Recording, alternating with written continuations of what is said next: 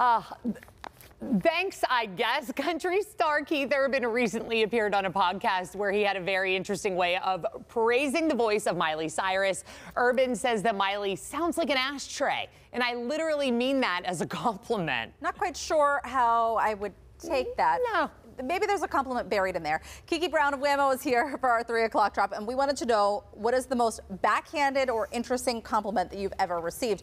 I'd like to think that people have good intentions. Sounds like an ashtray. Yeah. Like a- like a it's raspy- it's like that raspy Smoker's smoker, singer voice where you have that little bit of that. Yeah. I'm trying to make the math math. Like it Yeah, doesn't make I sense know. to me. And Keith, you're married to Nicole Kidman. You know that's not a true compliment. Come on.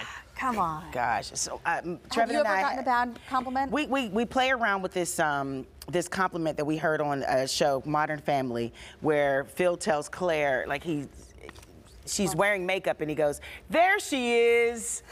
And so whenever I put makeup on, Trevin goes, "There she is." She's so yeah, that's our thing. Like, are you saying I was not cute before? Like, Uh, what's going on? Yeah. It's funny because I love my husband, but Yeah. he one time, and this was not from a show, this was really just his pure reaction, Yeah. said, That stuff is magic.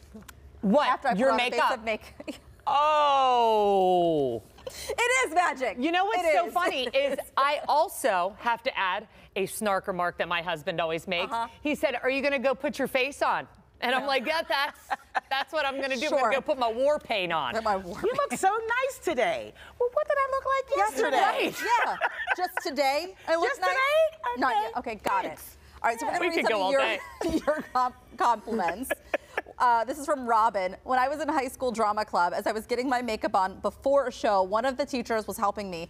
As she was putting on the stage makeup, she said, quote, you're actually really attractive. Wow. Oh. Actually and really. Uh, this is bringing Mean Girls. Like, Very much so. you're like actually pretty. I'm triggered. Really So you agree? So you agree?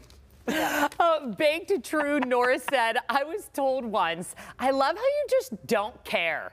And to clarify, I'm not a perfectionist, and this person was.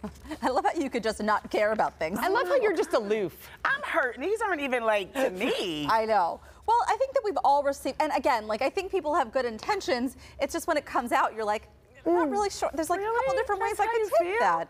Oh. Linda said, My sister and I always laugh at this comment we received often as kids. Your mom is so pretty. You look like your dad. Oh. I'm sorry. Oh my God. is dad also pretty?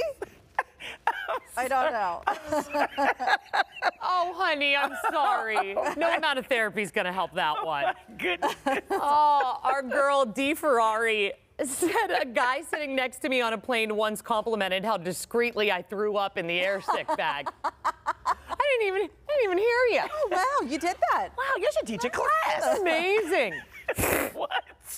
Alyssa, this is the quote, and I feel like this came from a. I don't know. Actually, let's just go with You it. know who it came from. You know who this came from. You're too pretty to have bad handwriting. Oh. Alyssa, I What think do your those handwriting's great. Have anything to do with each other? I just like our pauses in between each comment, like, mm, like we've been hit directly. Exactly, like, oh, oh, clutching our pearls here. that. Didn't I tell you do better, hand. Come on. Shame on you, Han. on. Do better. Roy Henning went into DXL men's store. Mm-hmm. The manager said if I would gain another 25 pounds, I would be a great plus size model. Ouch. Isn't it amazing that this is what men get? Yeah. But women get.